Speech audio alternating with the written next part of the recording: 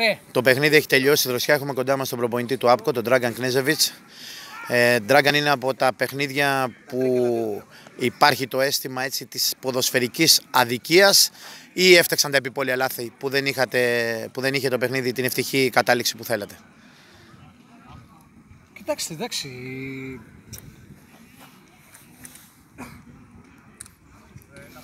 Πιστεύω ότι ξεκινήσαμε πολύ καλά το παιχνίδι, έτσι.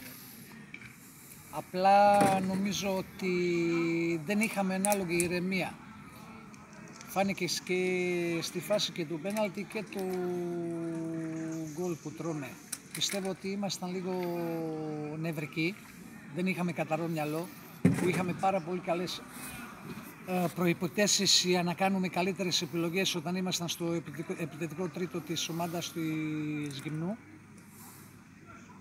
Ε, με αποτέλεσμα να χάσουμε πέναλτι και στο χειρότερο είναι ότι δηλαδή χωρίς να έχουμε απειληθεί ε, έχουμε εντορίσει ένα γκολ από αυτά τα γκολ που λέμε ούτε ο συμπαίκτης ούτε κάνει τέτοια πάσα έτσι.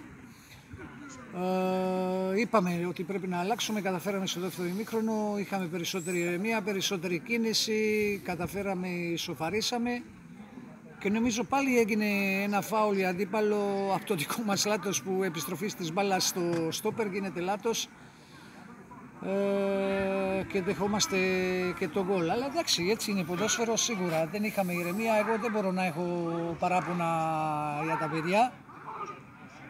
Εγώ θέλω να τους δώσω συγχαρητήρια. Καλή συνέχεια στην ομάδα της Γυμνού. Συγχαρητήρια στα δικά μου παιδιά. Προσπαθήσαμε, δεν μπορώ να πω ότι δεν έχουν προσπαθήσει.